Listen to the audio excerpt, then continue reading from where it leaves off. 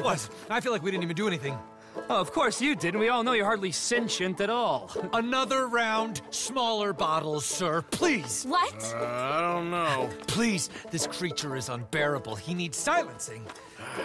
I'll do my best. As long as she witnesses that I'm doing this under duress. Oh, you boys are so silly. Now is as good a time as any.